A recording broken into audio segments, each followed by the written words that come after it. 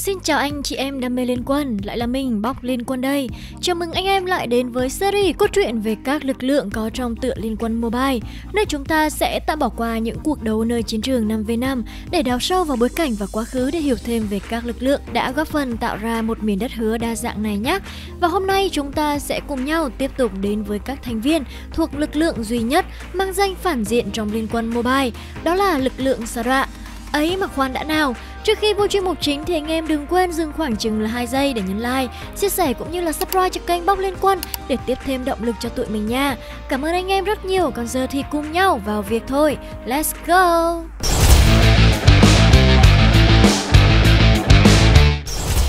Có thể nói về vị thế của lực lượng sa đọa trên bản đồ vương quốc Athanor chính là một mình chấp tất. Ngoài việc phải chống lại ba phe phái lớn thuộc liên minh lực lượng ánh sáng, đó là Tháp Quang Minh và Rừng Nguyên Sinh, thì lực lượng vực hỗn mang còn phải đối đầu với rất nhiều mối đe dọa khác từ các phe phái nhỏ lẻ trên khắp miền đất hứa. Vị thế một mình một thuyền của lực lượng này cũng được thể hiện rõ qua vị trí đóng quân của họ trên bản đồ lục địa Athanor khi vực hỗn mang nằm tách biệt ở phía đông, cách một khoảng cách rất xa so với những khu vực khác. Đứng đầu của của lực lượng hắc ám này là chúa tể hắc ám Volcat cùng với hai cánh tay đắc lực là ma vương quản ngục ma lấp và oán hồn vực thẳm ma già cùng với các thuộc hạ cấp dưới, với tham vọng xâm chiếm thế giới, Volcat đã và đang phát động nhiều cuộc chiến tranh quy mô, đồng thời liên minh với nhiều thế lực xấu xa khác để làm nên thế lực tà phái mạnh mẽ nhất trong thế giới Athanor và là cơn ác mộng, cũng như là kẻ thù của tất cả sinh linh. Ma vương của vực hỗn mang giữ cho mình chức vụ ma vương nơi vực hỗn mang tăm tối là vị thủ lĩnh tối cao của binh đoàn lực lượng xà đọa. Volcat đương nhiên là vị tướng ngồi chễm trệ ở vị trí đầu tiên trong danh sách này.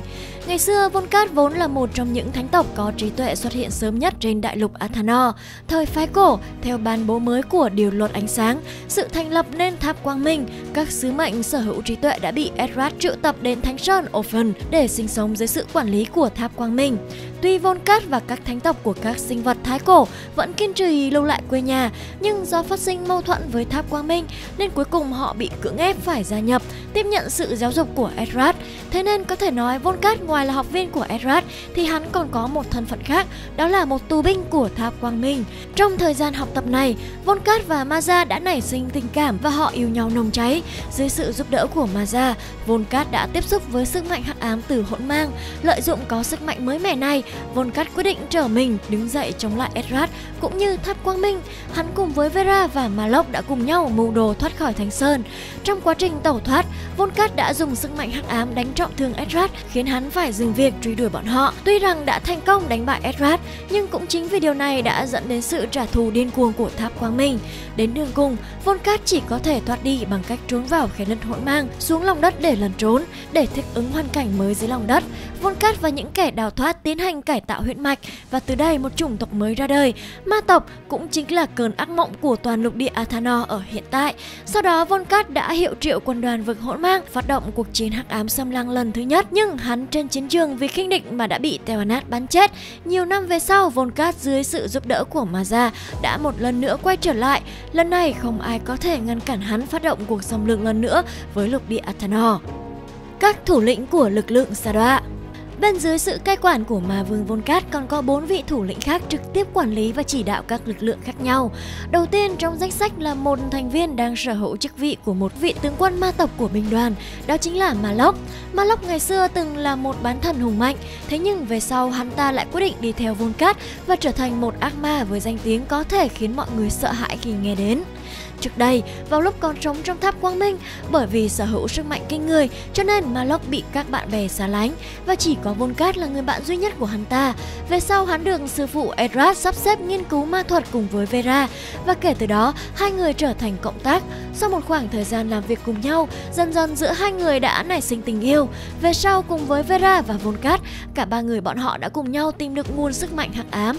Và khi Volcat quyết tâm cướp lấy thứ sức mạnh này và bỏ tháp quang minh tiến về vực hỗn mang thì Malok cũng đi theo. Dựa vào thể chất tuyệt vời vốn có, Malok đã dùng năng lượng bóng tối để rèn luyện huyết mạch và chính thức lột xác trở thành ác ma. Về sau, Malok đã tham gia hai lần vào cuộc chiến tranh hắc ám xâm lăng. Trên chiến trường đối mặt với những thánh đồ, tinh linh cùng với các tướng lĩnh anh hùng của nhân loại, Malok vẫn không yếu thế.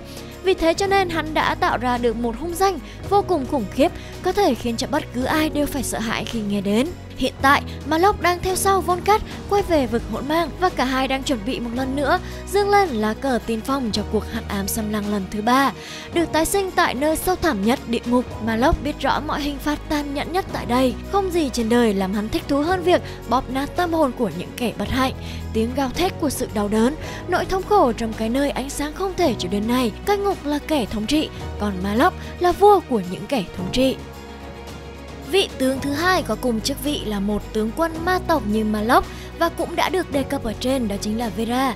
Vera vốn là bán thần của tháp Quang Minh, nhưng về sau cô lại đi theo Volcat vào vực hỗn mang và biến hóa trở thành ma tộc.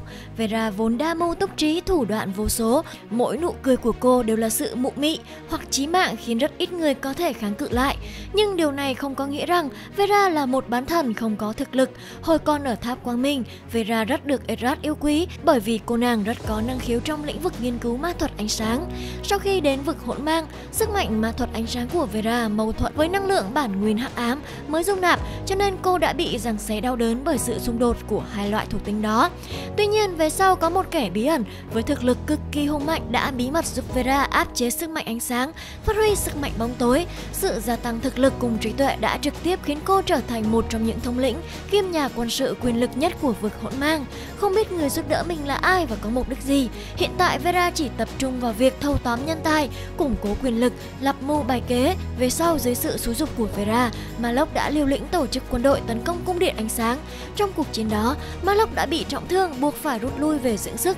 Hắn đã trao toàn bộ quyền hành lại cho Vera, từ đấy khẳng định vị thế dưới một người trên tất thảy sinh vật mà cô hằng mong muốn. Thành viên thứ ba nắm giữ vai trò tướng quân ma tộc đó là Maza. Nàng cũng đang là người yêu của vị ma vương Vulcat. Maza vốn là thánh nữ đầu tiên của Quang Minh thần tọa và nàng cũng là học đồ của ma pháp sư Edrat. Maza từng là tồn tại chói mắt nhất của tháp Quang Minh. Dưới sự theo đuổi của Volcat khi cả hai còn là đồng môn với nhau, bỏ qua sự phản đối vì thân thế cao thấp, hai người đã yêu nhau. Nhưng Maza không ngờ bi kịch của nàng cũng bắt đầu từ đây. Dưới sự đối đầu của Volcat và Erat, Maza đã lâm vào tình thế khó xử khi một bên là người thầy đáng kính và một bên là người yêu của mình. Tất cả tộc nhân Veda vốn đều đồng lòng quyết ý trong công cuộc chống quân thù, thế nên việc Maza vẫn còn lưỡng lự giữa hai bên chiến đấu là chuyện không thể chấp nhận được. Dẫu vẫn còn đó Erat thấu hiểu và cảm thông cho Maza, nhưng tất cả những người còn lại đều xem nàng như là một kẻ phản bội. Trớ trêu thay, Maza lại là một cô gái bướng bỉnh, thế nên khi thế giới càng tạo sức ép thì nàng lại càng quyết định hơn trước sự lựa chọn của bản thân. Cuộc chiến tiếp diễn hàng ngàn năm cho đến khi Erat qua đời, còn Volcat rút lui với trọng thương trên người thì toàn thể Veda đều căm ghét Maza. Ngôi vị kế thừa Erat của cô nàng giờ đây chỉ còn là dĩ vãng, thay vào đó tất cả đều buộc tội Maza, thông đồng với quân thủ để hãm hại quốc vương và cứ như thế Maza đã dần trở thành mục tiêu bị công kích của thành viên Tháp Quang Minh và tất cả mọi người khác. Tân nữ thần kế nhiệm Tháp Quang Minh Illumia đã nhốt nàng vào luyện ngục để ngàn vạn ảnh trùng xử tử nàng. Nhưng may thay, trước khi Volcat rời khỏi thánh điện, hắn đã đem một bộ phận linh hồn truyền cho nàng và lúc này linh hồn Volcat trong cơ thể Maza đã phát ra sức mạnh hắc ám khiến trung ảnh bị đồng hóa và phục tùng nàng. Với sức mạnh đó, Maza thành công thoát khỏi luyện ngục và chặt đứt quan hệ của nàng với tháp quang minh. Nàng men theo vết nứt dưới địa ngục để tìm đến vực hỗn mang và chính thức gia nhập quân đoàn ác ma. Khi Volcat hồi sinh, nàng đã hiến ra một bộ phận linh hồn mà hắn đã cho nàng để làm tế phẩm nhằm mục đích khiến Volcat thành công giáng lâm chiếm lấy Athanor. Và cuối cùng trong lực lượng tướng quân ma tộc lãnh đạo vực hỗn mang, đó chính là Kali. Cũng như những vị thủ lĩnh trước, Kali cũng có xuất thân từ Tháp Quang Minh và cũng là bạn học của Volcat, Vera hay Maza. Nữ tư tế Kali tại Thánh Sơn Oven hàng ngày các tín đồ xưng tội và nàng dùng tấm lòng bao dung, nhẫn nại dịu dàng an ủi họ là nơi truyền bá về tín ngưỡng đi khắp nơi trên thế giới. Đền Skopel là nơi các tín đồ đều cầu nguyện đông nhất thuộc Trung ương giáo đình sinh lão bệnh tử, hỉ nộ buồn vui, chịu đau khổ do nạn chiến tranh. Tất cả tín đồ đều đem tất cả nỗi lòng giải bày hết. Dần dần Kali nhận thấy việc trấn an cùng tín ngưỡng chỉ có thể mang đến sự an ủi nhất thời, chứ không có cách nào cứu vớt linh hồn thực sự bị hãm sâu xuống vùng lầy số phận. Lẽ nào nàng muốn đời đời kiếp kiếp đều đứng trong đền Gophel để thuyết giáo về cuộc sống không đau khổ không sầu bi sao? Không, đây không thể là lý do cho nàng lưu trú mãi ở đây, cho đến tận bây giờ vẫn không phải. Nhận định có phương pháp đúng đắn hơn, tốt hơn để có thể thực sự cứu vãn được số phận bi thảm này. Kể từ đó, hạt giống của hoài nghi cùng sự phản nghịch đã âm thầm gieo rắc trong tâm khảm nàng. Sau này, khi nhận ra sự quay lưng của thần linh với những linh hồn đau khổ bị đầy đọa bởi số phận, Kali rời khỏi tháp quang minh cùng với trái tim ngập tràn thù hận các vị thần để trả thù các vị thần những người theo đạo sẽ bị Kali giết và cướp mất linh hồn chỉ để thỏa mãn sự ích kỷ của bản thân. Các linh hồn sau đó sẽ buộc phải trở thành tôi tớ trung thành của Kali. Nhiều thế kỷ trôi qua, cứ mỗi lần Kali cảm thấy buồn chán, nữ thần giai đoạn này sẽ sai một trong những tôi tớ của mình để đi tìm người yêu hoặc người thân để bắt về làm nô lệ. Những nạn nhân của Kali đều phải chịu nỗi đau bất tận, điều mà không một chiến binh quả cảm hay một vị thần nào có thể chịu nổi. Và trên đây chính là cốt truyện của các thành viên chủ yếu quyết định sự mạnh mẽ của lực lượng giả Đọa, lực lượng phản diện chính của Vương quốc Athanor. Và như đã tìm hiểu ở trên thì hùng mạnh của lực lượng này phần lớn đều nhờ vào lực lượng Tháp Quang Minh. Bằng chứng cho điều đó là năm vị thủ lĩnh tối cao của vực hỗn mang đều là đồng môn khi còn ở tại Tháp Quang Minh. Các thủ lĩnh của vực hỗn mang sẽ có cho mình một quân đoàn trực thuộc dưới trướng. Và hôm nay chúng ta sẽ cùng nhau đến với quân đoàn đầu tiên bao gồm 8 thành viên rất mạnh mẽ, phục tùng cho vị nữ thủ lĩnh vô cùng xinh đẹp là Vera. Và thành viên đầu tiên trong quân đoàn giai đoạn này là Mganga. Sự khát khao quyền lực tối cao đã khiến Mganga dấn thân vào con đường ma thuật hắc ám. Trước khi bộ tộc của hắn được thành lập, Mganga đã lên kế hoạch thu thập những con thú mạnh nhất để đổi chúng và lấy nguồn ma thuật hắc ám từ lũ quỷ. Kế hoạch của hắn nhanh chóng bị các thầy tu phát giác và ngăn chặn. Khắc sâu mối thù này vào trong tim, Mganga tìm cách tiêu diệt từng người, từng người một trong hội đồng các thầy tu. Hắn sát hại họ một cách dã man. Trước sự tàn ác ấy của Mganga, người dân lúc nào cũng cảm giác bất an, ám ảnh và sợ hãi, cho đến khi sự điên rồ, vô nhân đạo vượt ngoài sự chịu đựng đã buộc dân chúng cùng đoàn kết lại và họ đã đứng lên chống lại hắn. Mganga rất nhanh đã bị bao vây, nhưng nhờ vào sự khôn ranh của mình, hắn vẫn trốn được vào vực hỗn mang, ẩn mình trong khu đầm lầy tăm tối bao quanh là rất nhiều loài rắn độc. Hắn tiếp tục nghiên cứu về ma thuật đen và gia nhập vào lực lượng giả đoạ. Thành viên thứ hai phục tùng cho Vera là Brita. Reta vốn là một người lính cẩn mẫn, ít nói, cai quản nơi chiến trường đã phải trải qua những cuộc chiến đấu khốc liệt. Trong suốt các cuộc chiến cổ đại thương vong là điều không thể tránh khỏi và hậu quả của nó mang lại luôn kèm theo vô số những thi thể của các chiến sĩ gục ngã trên chiến trường. Tuy nhiên thì việc an táng họ ngay tại mảnh đất bom đạn khói lửa này là một điều bất khả thi và cứ thế theo thời gian những thi thể ngày càng hoại tử, hôi thối và trở nên khủng khiếp hơn bao giờ hết. Cũng vì là người cai quản nơi đó, ngày qua ngày Preta liên tục tiếp xúc với tử thi và từ đó oán khí tích tụ đã dần biến đổi Preta. Linh hồn hắn trở nên u ám, lương tri bị ăn mòn đến nỗi hắn dần không còn nhớ bản thân mình là ai. Những gì hắn nhớ lúc này chỉ là cái tên Breta cùng năng lực hắc ám dịch bệnh có thể tiêu diệt bất kỳ sinh vật sống nào trên đời của bản thân. Kể từ lúc đó, cái tên kỵ sĩ dịch bệnh Breta ra đời và gây cho mọi người biết bao nhiêu nỗi sợ hãi. Tiếp theo, thành viên thứ ba trong quân đoàn xa đọa này là Mina. Từ ngày ra đời, Mina chính là một đứa trẻ bị bệnh dịch nguyên rủa. Phần gáy của nàng có vết bớt mang hình dạng lưỡi hái, nhưng vết bớt không phải màu hồng phấn mà là màu đen đậm đặc ma quái. Năng lượng hắc ám từ đó cuồn cuộn trào ra không ngớt ăn mòn dần sinh mệnh của nàng. Nhưng trên vương quốc Athanor này, những người cùng nhiễm dịch bệnh giống như Mina không hề ít vì ngăn cản nạn bệnh dịch nguyên rủa của vực hỗn mang. Nhân viên thần chức cùng ma pháp sư hợp tác điều phối ra thuốc giả kim giá rẻ dành cho giới bình dân. Thuốc này có tác dụng khống chế bệnh dịch hắc ám lan tràn. Thế nên Mina luôn phải cố gắng kiếm tiền để mua thuốc nhằm kéo dài tính mạng của mình. Tuy nhiên, Mina biết rằng ấn ký của nàng vốn thuộc về một ác ma cường đại thời viễn cổ lưu lại, cho nên trong tất cả những người bị nhiễm nguyên rủa, chỉ có nàng mới càng ngày càng trở nên mạnh hơn. Nhưng nàng cũng không muốn gây thêm nhiều phiền toái cho bản thân, cho nên luôn cẩn thận giữ kín lấy bí mật này. Nhưng vận khí tốt và nỗ lực che giấu sớm muộn kiểu gì cũng sẽ dùng hết. Nhất là một thân một mình, lăn lộn giữa chốn hiểm ác dưới đáy xã hội. Mina không thể không sử dụng đến nguồn sức mạnh hắc ám để ám cường đại để bảo vệ bản thân. Ma khí có uy lực kinh hồn như vậy cũng không phải là vũ khí mà nhân loại có thể sử dụng. Lorion và đồng đội liên tục dùng ma thuật đen công kích Mina, nhưng bất luận có công kích mạnh mẽ đến thế nào thì đối với Mina lúc này tất cả đều vô hiệu. Vì biết rõ bản thân không có khả năng kiểm soát nguồn sức mạnh đó, Lorion liền mang Mina trở thành vật tế cho Vera. Chỉ sau thời gian vài giây ngắn ngủi, Vera đang dưỡng thương tại vực hỗn mang đã nhận được tế phẩm khiến nàng hài lòng nhất do Lorion đưa đến. Đó là cô gái mang theo ác ma ấn ký Mina. Tuy Mina không mang cơ thể hoàn hảo như ác ma nguyên bản, nhưng cũng gần như tương đương, chỉ bởi nàng phục dụng thuốc giả kim cho nên thực lực đã bị thiếu hụt không ít. Tuy nhiên, Vera biết chuyện này có thể giao cho Morgana xử lý. Ý chí hắc ám của Mina đang được kế thừa tuy rất khủng bố, nhưng cũng không thể nào vượt qua được sự kiểm soát của Vera. Một thành viên khác đồng hành cùng quân đoàn là Tara. Xuất thân từ một nhóm người đến với vùng đất dãy núi thép Nam sững sững ở đất Bắc xa xôi, bởi vì dãy núi này có vị trí bao quanh cung điện ánh sáng như một bức tường bằng sắt thế nên đương nhiên cung điện ánh sáng sẽ là lực lượng trực tiếp điều khiển tất cả những người ở nơi đây theo tín hữu của họ.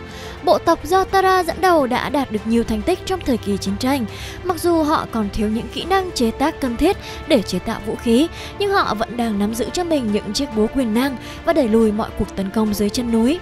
Trong ngày ánh sáng hồi sinh, Tara cùng bộ lạc tổ chức một bữa tiệc linh đình. Các sứ giả của Then đến và mang tới mệnh lệnh từ vị vua đáng kính. Vì sự trung thành của Tara trong chiến tranh, cô xứng đáng được trao danh hiệu cao quý. Cô được sở hữu một vùng đất rộng lớn trong vương quốc mới và cả bộ lạc cuối cùng cũng thoát khỏi cảnh nghèo đói. Tuy nhiên, trước khi Tara có thể lên kế hoạch cho những điều tốt đẹp phía trước, sự giận dữ của Gildu đã dâng cao. Nắm giữ ngân khố của cung điện ánh sáng, ông không cho phép Then tự ý đưa thêm người vào cung điện. Người đưa tin của Then bị lưu đày, còn Tara bị coi như là kẻ phản bội niềm tin của cung điện và bị bỏ tù. Ngoài ra, các khoản thuế áp dụng với bộ lạc của cô bị tăng gấp đôi trong 10 năm như một hình phạt thích đáng. Mọi điều mong ước nay đều đã tan biến vào hư không. Tara như rơi thẳng từ thiên đàng xuống địa ngục và Vera đã nắm lấy cơ hội và giải cứu Tara và để lại lời nhắn. Những vị thần ánh sáng đã khiến cô gục ngã, tại sao cô không nắm lấy bóng tối thật sự? Thất vọng vì những gì cung điện ánh sáng đối xử với cô, Tara đã gieo mình xuống vực thẳm tăm tối. Cô sẵn sàng bị dây vo bởi lửa băng và dâng linh hồn mình cho bóng đêm và trở thành một thành viên trong quân đoàn xa đọa phục tùng cho Vera. Tiếp theo đây là một thành viên khác cũng đường cô nàng Vera xảo quyệt làm cho quy phục cô nàng. Dưới sự huấn luyện của Veda, Aduin đã trở thành lãnh đạo của loài người, dũng cảm và kiên trì. Aduin chính là hình mẫu của một nhà lãnh đạo vĩ đại trong mắt công chúng. Aduin đã từng coi Then là đối thủ của chính mình. Cả hai đã từng có rất nhiều lần hẹn thách đấu vì danh dự. Mặc dù đã giành được chiến thắng, nhưng phong cách chiến đấu không sợ hãi và tư duy chiến thuật của Ten đã có thể khuất phục được Arduin. Cả hai quyết định hợp tác nhằm xây dựng tình bạn và trở thành đồng minh, cùng nhau bảo vệ loài người khỏi thế lực hắc ám. Và kể từ đó, bộ đôi Ten Arduin chính là chìa khóa cho chiến thắng vẻ vang của loài người. Họ thậm chí còn khiến lực lượng sa đọa buộc phải rút lui về Inferdi để phòng thủ. Tuy nhiên, trong trận chiến cuối cùng, Aduin và Then lần đầu tiên xảy ra bất đồng quan điểm.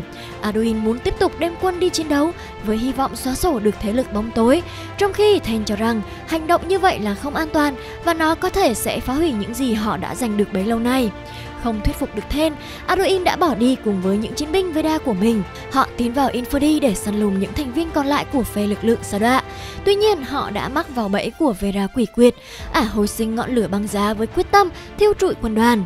Hối tiếc về quyết định nóng vội của mình, Aduin sải bước qua đám lửa, cố gắng tạo ra một cơn bão bằng cách quăng cây rìu của mình đi để mở lối đi an toàn cho các chiến binh. Tuy rằng đã có thể cứu được một số ít thành viên trong quân đoàn, nhưng đổ lại thì Aduin đã bị Vera dùng ngọn lửa băng giá làm tê liệt hoàn toàn cơ thể. Vera vô hiệu hóa dấu ấn Veda của Aduin và thay thế bằng dấu ấn của ác quỷ. Cơ thể Aduin trở thành tro tàn, tinh thần chiến đấu của anh cũng như dấu ấn mất đi, nay đã bị bóng tối chiếm lấy. Ngọn lửa băng giá chi phối hoàn toàn tâm trí và bộ giáp của Aduin, biến anh thành công cụ chiến tranh của lực lượng sa đọa. Hãy bày tỏ lòng thương tiếc cho Aduin, bởi bạn sẽ không còn cơ hội nhìn thấy một người anh hùng huyền thoại như thế lần nữa. Thành viên thứ 6 trong quân đoàn này chính là một sản phẩm của Merganga nhằm tăng thêm nguồn sức mạnh lớn cho cả lực lượng xa đọa. Scoot là sáng chế tự hào nhất của Merganga, chảy trong mình dòng máu ác quỷ luôn sục sôi thứ năng lượng của sự phẫn nộ. Scoot không chỉ sở hữu sức mạnh khôn cùng mà còn luôn sở hữu niềm khao khát tàn sát tất cả mọi sinh linh. Năm đấm của hắn khiến bất kỳ ai muốn đối đầu với các thế lực bóng tối đều phải run sợ. Trong suốt những năm tháng chiến tranh, Scott được tiến cử để phục vụ dưới trướng Preta và đảm nhiệm trọng trách quân tiên phong của lực lượng Sa Đoạ. Cuộc chiến tại lâu đài Giả Kim đánh dấu một cột mốc quan trọng trong chuỗi chiến tích của Scott. Hắn đã thành công dẫn một toán quân nhỏ vượt qua được phòng tuyến ma pháp sư trứ danh của Moren. Chưa dừng lại ở đó, hắn một mình hạ gục tất cả các cỗ máy phòng ngự của ông ta để dẫn binh thẳng tiến đến các tầng sâu hơn của lâu đài. Khi cuộc chiến ngã ngũ, Scott giành được một phần thưởng đặc biệt khiến hắn đã mạnh nay càng trở nên đáng sợ hơn bao giờ hết. Đó là một cặp găng được ren bởi Moren. Đặc biệt Mganga còn bắt tay vào tinh chỉnh khiến đôi găng này hoàn toàn tích hợp với dòng máu ác quỷ sụp sôi bên trong Scott, khiến tổ hợp này dần trở nên bất khả chiến bại. Thành viên thứ bảy cũng giống như năm vị thủ lĩnh, cũng là một thành viên xuất thân từ Tháp Quang Minh, đó chính là Natalia. Vốn là hậu duệ của tộc nhân chiến sĩ đã hy sinh bản thân để gánh chịu thứ nguyên rủa mà thuật tà ác, để trở thành những hộ vệ bất tử của thánh điện. Nhưng cuộc sống của Natalia và đồng bọn khi ở trong cung điện ánh sáng thật không tốt đẹp chút nào. Họ phải sống dưới ánh mắt vừa sợ hãi vừa khinh thường của những thành viên Tháp Quang Minh. Đôi khi trong số họ còn sẽ có những kẻ không thể chế ngự được thứ năng lượng tà ác bên trong, mà dẫn đến họ trở nên điên loạn và nuốt chửng các đồng loại của mình. Mặc dù là một trong những chiến binh nổi bật nhất bảo vệ cho cung điện ánh sáng, địa vị của cô quan trọng đến mức Thánh Điện đã phải chuẩn bị sẵn cả một bữa tiệc để chúc mừng lễ trưởng thành của cô. Nhưng họ nào ngờ rằng Natalia đã chán ghét cuộc sống địa ngục, không chút tự tôn, mang đầy tội lỗi và ám ảnh này đến tận cổ. Ngay trong chính buổi lễ đó, Natalia đã cắn nuốt tất cả đồng loại để kết liễu cuộc sống địa ngục của họ. Chưa dừng lại ở đó, cô còn ra tay tiêu diệt luôn cả gã sứ giả của Thánh Điện để chứng minh cho chúng thấy quyết tâm của mình. Bởi cô biết rõ, chính chúng là cội nguồn của thứ nguyên rủa mà cô đang phải mang theo. Nếu không vì hành động bảo vệ chúng của tổ tiên, thì cô và đồng bọn đã có thể có một cuộc sống tốt đẹp hơn biết bao nhiêu lần. Sau đó Natalia rời khỏi cung điện ánh sáng và nó mình trong bóng tối. Cô thậm chí còn nhờ vào sự chỉ dẫn của Vera mà thành công tách được lời nguyên ra khỏi bản thân và ký kết hiệp ước với chúng bằng cách tuyên thệ sẽ thần phục dưới trướng Vera. Từ đấy về sau, Natalia với sức mạnh của lời nguyên, nay là trợ thủ, trở thành một cỗ năng lượng khủng khiếp của lực lượng Sara. Thành viên cuối cùng cũng là thành viên đặc biệt nhất trong quân đoàn khi anh ta là người được cử đi thăm dò lực lượng Sa Đoạ.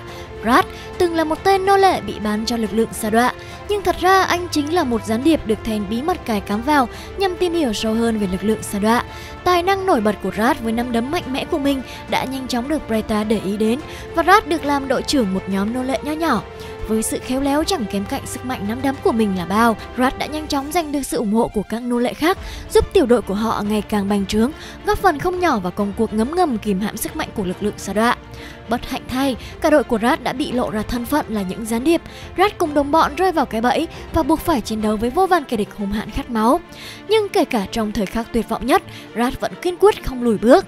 Trước hiểm họa khôn cùng, Rat bộc phát toàn bộ sức của mình để tung vô số những cú đấm bùng nổ nhằm đẩy lùi kẻ địch.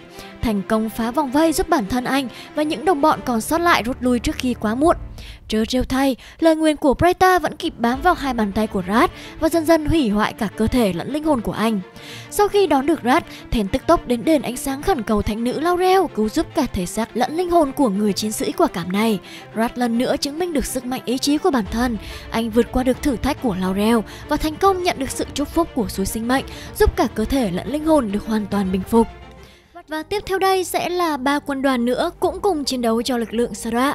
Quân đoàn hỗn mang Mở đầu trong ngày hôm nay sẽ là một quân đoàn có sức mạnh vô cùng lớn, thuộc sự thống lĩnh bởi vị ma vương quản ngục Malok, đó chính là quân đoàn hỗn mang gồm Nakrod và Krak. Thành viên đầu tiên của quân đoàn là anh chàng Nakrod. Trước đây, Nakrod vốn là quý tộc của Athanor, nhưng sau khi nhận lấy sự thất bại từ việc liên minh của các quý tộc và mất đi những người đồng đội của mình, Nakrod đã lựa chọn đi theo lời triệu hồi của vực hỗn mang và cụ thể là Maganga đến với lực lượng Sa Đọa và tiếp nhận cải tạo huyết mạch, Nakroth chính thức trở thành cánh tay trái của Malok, lãnh đạo quân dưới trướng của vị ma vương này.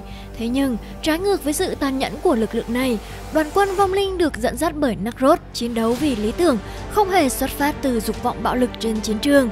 Mục đích của Nakroth cũng chỉ là muốn trả thù cho những đồng đội đã ngã xuống vì những mưu hèn kế bẩn của bọn quý tộc và khiến cho chúng phải trả giá thật đắt. Tuy nhiên, trong quá trình hoạt động dưới trướng của Malok để nâng cao danh tiếng của mình, Nakrod cũng tham gia vào một số cuộc chiến và giành được những chiến công lớn về cho bản thân. Phải kể đến như hắn đã là người ra tay đánh bại vị tướng Arthur ngay trên chiến trường. Thành viên còn lại trong quân đoàn hỗn mang cùng với Nakrod chính là Krak, giống với Nakrod. Trước đây, Krak cũng là một con người với ngoại hình điển trai nhưng với bản tính tham ăn nhác làm. Sau khi chết đi, hắn đã bị trừng phạt và trở thành một gã đao phủ trứ danh với sự tàn bạo khôn cùng. Rack dùng các sợi xích khủng bố cho lấy linh hồn nạn nhân, rồi nhôm nhoàm ngấu nghiến cắn xé họ từng chút một. Cái giá phải trả cho chuỗi hành động này cũng khủng bố không kém. Nó khiến hắn chẳng thể nuốt bất cứ thứ gì khác ngoại trừ linh hồn và rằng hắn sẽ mãi mãi là một con quỷ đói. Để kìm hãm cơn đói bất diệt của mình, đôi khi hắn phải tìm đến Zephyr, kẻ thu thập linh hồn, và Nakrod, kẻ phán xét để xin ăn. Tất cả linh hồn tội lỗi chỉ có một số phận, yên vị trong dạ dày của hắn. Sau khi cuộc chiến nổ ra, để nhận lấy sự phục vụ của Krak, Malok đã hứa rằng hắn có thể làm bất kỳ điều gì hắn muốn với mọi từ binh. Cơn đói khát vĩnh cửu biến Krak trở thành một thảm họa chiến tranh. Với mỗi linh hồn tiêu hóa, hắn lại càng trở nên mạnh mẽ hơn. Hắn biến tất cả những thứ gì không thể ăn trở thành bầy tối tớ quỷ quái, trợ giúp hắn trong công cuộc tìm kiếm thêm nạn nhân. Quân đoàn Trung Ảnh cũng giống như hai quân đoàn trước, quân đoàn trung ảnh này cũng chịu sự cai quản của một vị thủ lĩnh tối cao, đó là tướng quân ma tộc Maza. Quân đoàn trung ảnh cũng bao gồm chỉ có hai thành viên, đó là Zephyr và Kriknak. Tương truyền rằng Zephyr là một tử thần kiệm lời, toàn thân ông được bao phủ bởi một làn sương giá lạnh. Mỗi khi du hành để thu thập những linh hồn đã lìa khỏi xác, Zephyr đều khoác lên mình chiếc áo dài đen óng cùng hai chiếc lưỡi hái dài. Vì trong tư tưởng của mỗi người, thần chết đều có cho mình một dụng cụ, đó là lưỡi hái tử thần, nên trong khoảnh khắc ít ỏi đó, họ không hề nhận ra thứ mà Zephyr cầm, chính là một đôi song thương. Zephyr sẽ phải dùng quyền lực của một vị thần, triệu gọi quân đội của mình để gìn giữ trật tự của cả hai thế giới, không cho bất kỳ một linh hồn nào trốn thoát. Bất cứ kẻ nào chống đối đều sẽ phải chịu sự trừng phạt dày xéo tâm hồn và nhận một kết cục đau đớn hơn cả cái chết. Thành viên thứ hai trong quân đoàn trung ảnh này chính là Krignat. Thật khó để biết rõ Krignat thuộc về cõi âm hay cõi dương, vì hắn hoàn toàn tự do tự tại ra vào các hầm mộ, hút hết năng lượng còn sót lại của những linh hồn vất vưởng nơi đây. Thế nhưng, có một điều chắc chắn rằng Krignat vẫn có sinh mệnh và linh hồn riêng biệt của chính hắn. Mà thật ra thì Krignat không bận tâm đến sự sống hay chết của chính mình cho lắm. Thứ duy nhất mà hắn quan tâm đó chính là những mệnh lệnh của vị chủ nhân Maza. Bản thân vốn là một bầy tôi tận tụy của Maza, Ricknat chính là một sát thủ thầm lặng ẩn mình trong bóng tối. Chỉ cần chủ nhân ra lệnh, hắn sẽ thực hiện ngay không chút ngần ngại. Kể cả điều đó có nghĩa là hắn sẽ phải đối đầu với thanh gươm anh Dũng, Then đi chăng nữa. Ricknat cũng sẽ là một con bài hùng dũng đứng chắn trước chủ nhân của mình, sẵn sàng đón nhận bất cứ thứ gì có thể gây nguy hại đến ngài. Ngay cả khi họ cách xa nhau hàng ngàn dặm, Ricknack vẫn luôn biết được chủ nhân đang nghĩ gì và luôn luôn chẳng ngại ngần thực hiện bất kỳ điều gì mà chủ nhân hắn muốn. Độc hành giả Bên cạnh những quân đoàn trực thuộc và phục tùng dưới trướng của các thủ lĩnh ma tộc, thì trong lực lượng sở đọa cũng có một bộ phận nhỏ các độc hành giả, những kẻ mặc dù là đồng minh của phe hắc ám nhưng lại hoạt động một cách riêng lẻ. Độc hành giả gồm 4 thành viên đó là Thứ nhất, Omen, hắn được sinh ra từ nơi vực thẳm tối tăm nhất của thung lũng quỷ, một nơi lạnh giá và vô hồn như chính con người Omen. Thậm chí ngay đến cả lũ quỷ dữ cùng xuất hiện tại vực thẳm đó cũng cảm thấy kinh hãi với sự khát máu và sức mạnh của hắn. Mặc dù vậy, Omen hiếm khi lộ diện trong các cuộc chiến giữa hai phe, bởi vì đối với Omen, chết chóc là bản năng tồn tại và hắn sẽ ra tay không chỉ với kẻ thù mà ngay cả đồng đội và bè lũ các con quỷ sát cánh cùng hắn mà Locke hiểu rõ bản năng máu lạnh của Omen chính là thứ mà quân đoàn Lockham đang cần. Tuy nhiên mà Locke lại chẳng cách nào khiến hắn bộc phát hết năng lực thực sự mà không phải hao tổn binh lực của phe mình. Cuối cùng sau khi cho Omen ra chiến trường và khiến cho cả quân đoàn đồng minh chịu thiệt thòi, mà Locke đánh dấu Omen sâu trong vực thẳm. Tưởng chừng gã đã bị lãng quên, cho đến ngày quân đội của Arduin tấn công thung lũng quỷ, Omen sau một khoảng thời gian bị cầm tù, đã mang sự khát máu được tích lũy để đứng một mình đứng giữa chiến tuyến. Hắn cầm vũ khí chiến đấu cho đến khi thành viên cuối cùng của quân đội Arduin gục xuống. Câu chuyện về trận chiến huyền thoại này đã được chia sẻ là không có ai còn sống trở về và cũng không một ai còn biết nỗi ác mộng Omen đã đi về đâu sau trận chiến ấy.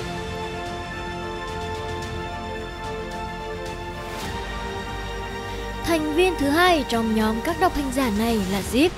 Zip là một ma thú của vực hỗn mang với khả năng ẩn giấu trong bóng tối ở bất kỳ nơi nào hoang vu hẻo lánh để săn mồi. Tuy là thế hệ sau của giống loài ma thú lâu năm ấy, nhưng Zip nhìn có vẻ giống như bị tiến hóa thụt lùi vậy. Nó không có nanh vuốt sắc bén cũng không có cơ thể lực lượng như tổ tiên, mà thay vào đó lại là một cơ thể tròn ung ủng toàn lông. Zip mang lại cảm giác khiến cho người ta cảm thấy đáng yêu, chứ không có vẻ ngoài uy hiếp khủng bố như các ma thú khác.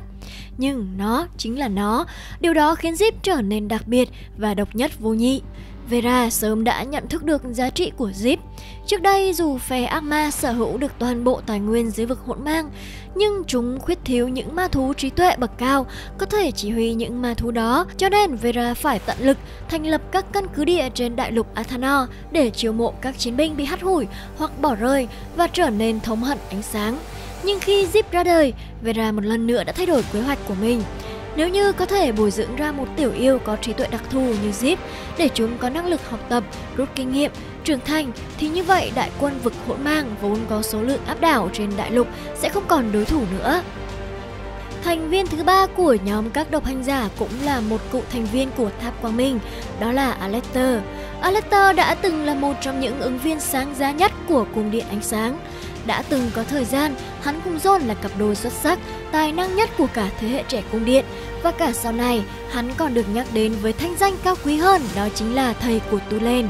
Ấy thế mà, Alester, dẫu thông minh nhưng lại thiếu lòng tin, đã rơi vào sự mê hoặc của Vera, rồi từ đó bị xa vào con đường bóng tối.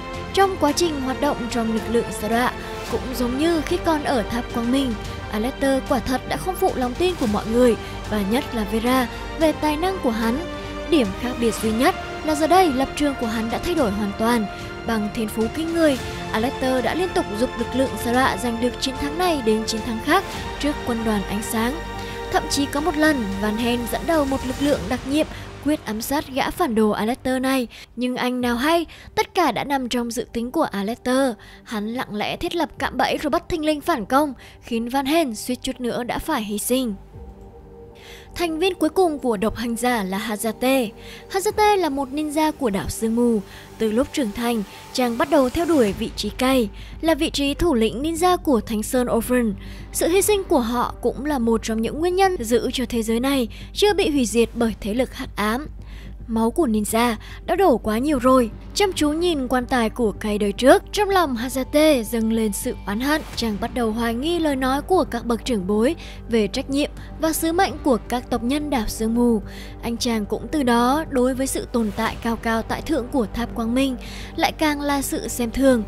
Hazate nhận thấy sự ký kết khế ước của lòng hồn và tháp quang minh là không công bằng, dùng huyết mạch truyền thừa của rồng cùng lực lượng của các ninja để bảo vệ sự vinh quang của tháp quang minh nhưng đều không nhận được sự hồi báo. Tại sao lại mất cân bằng giữa hai bên ký kết như vậy? Lý do bởi vì thần tộc sống trong tháp quang minh, ngạo mạn đã từ lâu, quen thói cao cao tại thượng đầy đầu cưỡi cổ các tôi tớ ở bên dưới.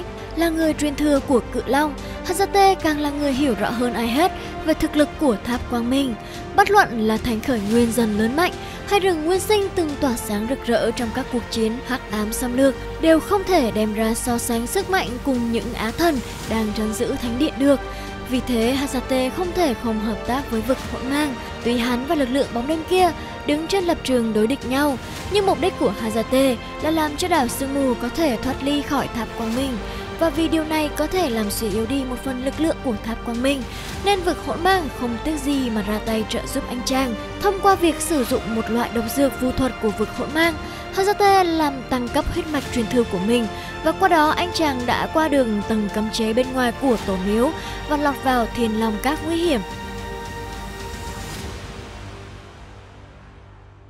Thành viên cuối cùng của danh sách này chính là Aaron. Vì cha mẹ đã chết trong chiến loạn nên Aaron và anh trai Ken phải nương tựa vào nhau để sống. Và để có được một cuộc sống tốt hơn, cả Aaron và anh trai hắn đều chấp nhận tiếp cận với cải tạo ma thuật đen. Sau khi cải tạo thành công, Aaron và Ken được biên chế vào quân đoàn thợ săn quỷ do nguyên soái Edmund thống lĩnh và trong cuộc chiến với vực hỗn mang ở phía Nam, Aaron lập được vô số chiến công đồng thời cũng nhận được sự tôn trọng của đồng bọn và cấp trên. Nhưng trong một trận chiến khác, Ken đã vì bảo vệ Enron mà hy sinh. Cùng lúc đó, vị nguyên soái bảo hộ cho hắn cũng qua đời. Enron cùng một lúc phải bị đả kích lớn chưa từng có về mặt tinh thần. Linh hồn của Volcat nhân cơ hội đó nhập vào trong cơ thể hắn, khiến nhân cách Enron bị phân liệt. Từ đó mà hình thành nên một biệt danh mới của hắn, đó là cuồng chiến sĩ. Eron trở nên điên loạn và bị Volcat khống chế. Hắn đã giết chết chiến hữu và trốn khỏi quân doanh. Sau đó, Enron bị Richter dẫn theo quân đội tinh nhuệ truy đuổi đến đường cùng, mà đã xảy chân rơi xuống vực thẳm. Sau đó trăm năm, Eron được Hazate thức tỉnh.